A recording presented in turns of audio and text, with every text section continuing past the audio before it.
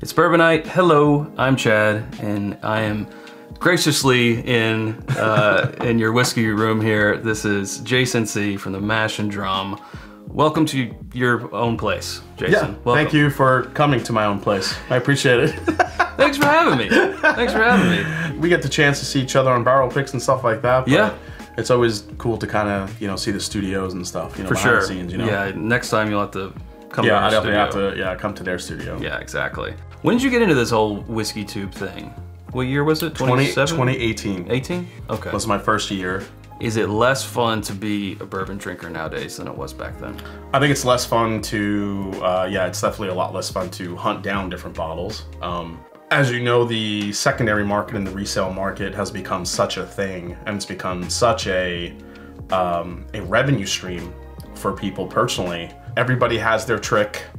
They'll go, they'll jump to stores, they have a network of people that'll wait online, get bottles, and then, I mean, before they're even back in their car, they're already on there waiting to flip them. Crotch shots. Yeah, crotch shots, uh, trunk shots, uh, literally walking right out of the liquor store shot Yep.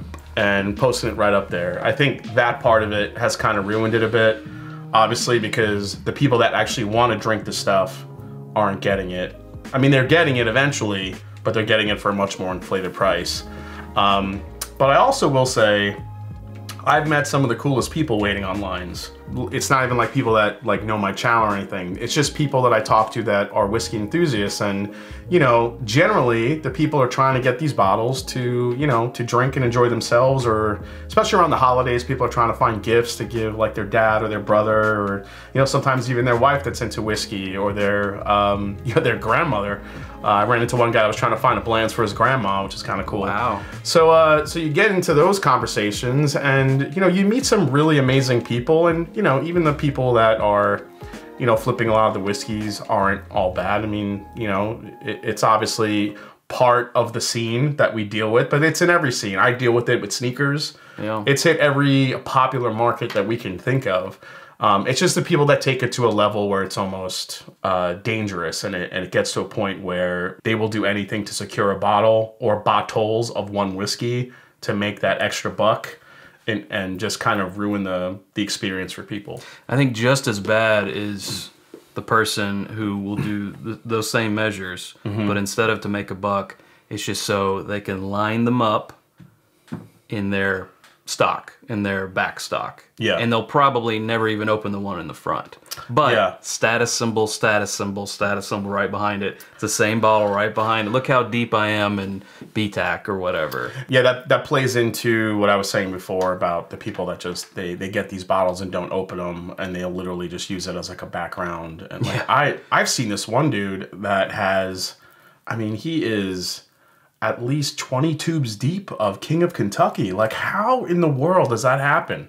First, how can you afford it? Yeah. Two, how do you, yeah, the logistically, how do you get that many? logistically, how do you get that many? Like, it's either a liquor store owner and that's just like gobbling them up and flipping them. But yeah, it, it's it's just it's it's crazy. I mean, some of the some of the stuff that people can acquire, um, but then it's also the flip side. You get guys that they find like that one, like uh, you know, like for for instance, Old Forester 1924, which we talked about earlier. When that first started dropping on the market, that's a hundred and fifteen dollar bottle that people were selling for three fifty immediately.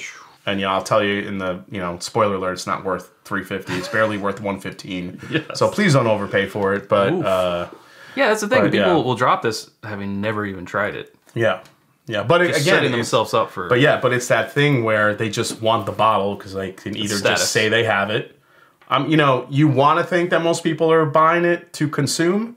It's hard because you know people are just shelling out so much money and they they might just want to be putting it on their shelf. It's, some people have more money than sense. yeah, yeah, Yeah. and that's the kind of the new bourbon drinker that's come into the fold uh, recently, where it's they they've taken on bourbon as a hobby. They have a lot of cash, a lot of you know, a lot of income, a lot of you know money to burn, Yeah. and they don't really care what they pay. They'll just say, "Hey, I got all these great bottles. Look what I have." You know, you'd like to think that they're sharing it and drinking it, but from the majority of people that I've met like that, they're not. Meanwhile, when we, uh, you know, publish our top ten bourbons of the year, we'll get these comments that say, "Oh, this is just a flex."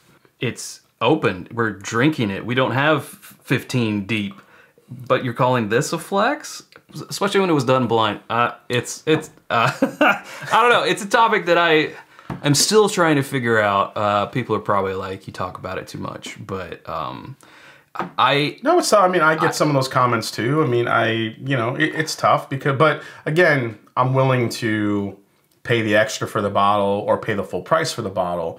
Now, it's one thing when you say it's a flex. These these are bottles that the average person can't get, and yeah, while there's some level to that that I agree with.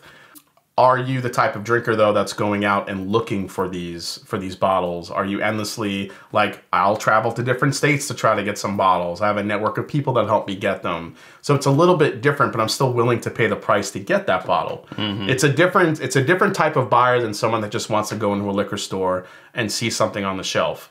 Like for that, you know, there's other videos that we've done about non-allocated bottles. plenty. Bottles, plenty of those. And you know, in today's time, there are so many good bottles. Yeah. Right. That are available on the shelf. You don't really have to go and get these allocated stuff. Listen, honestly, if I didn't review whiskey, most of my purchases would probably be available stuff and store picks only. Same. I probably wouldn't chase most of the hard to get stuff, to be honest. No. I mean, I would probably find a good price at a bar to get a pour of it so I can have an opinion about it. Yeah. I say most people, if you're, you know, if you consider yourself a certain level of being into whiskey, I feel like you should go and pay that $50, $60, $75. Maybe it's on a special occasion, and you can kind of chalk it up to that. But if you want to be able to weigh in about Pappy Van Winkle, whether it's overrated or not, Yeah. you know, instead of just asking people, get a pour of it at a bar and decide for yourself. Be able to weigh in about it, or BTAC, or whatever it is. It's yeah. Have it, so you can say you have it, so you can form an opinion on it. Maybe then you don't go try and hunt down a bottle. That's fine, but at least you've had it and you've had the experience.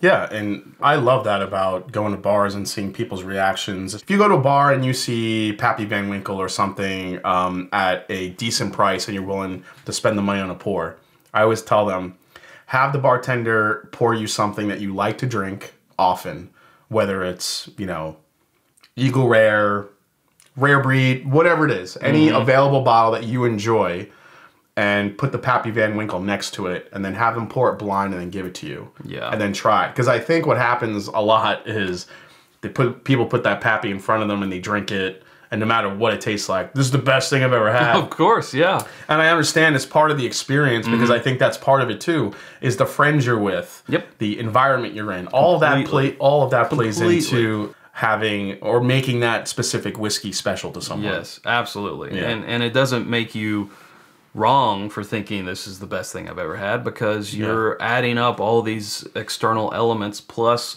the whiskey. Uh, so it might be, and there's nothing wrong with Yeah, that. if someone if someone comes all. up to me and tells me, "Hey, look, I, I got a you know I got a lot B, and but I was with friends, I opened it at a wedding, and we cracked it open, best thing I ever had," I believe you. It probably Yes, was. It probably was because in that moment, it probably was the best whiskey I've ever tried. And Now- I'm not I'm not going to judge anybody for that. I'm actually more happy that they cracked it open. absolutely good. Good, good on Good you. on you. Good, yeah. Jason, if people don't know about you and your channel, let them know where they can follow you, where they can subscribe to you.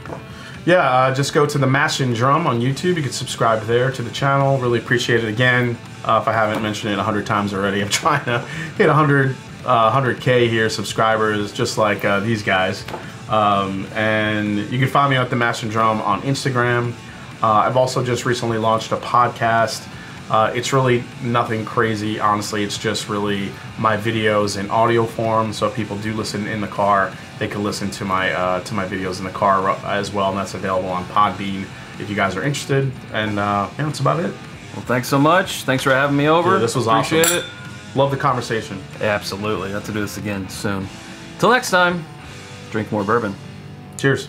I get the last word, not you. Well, you what the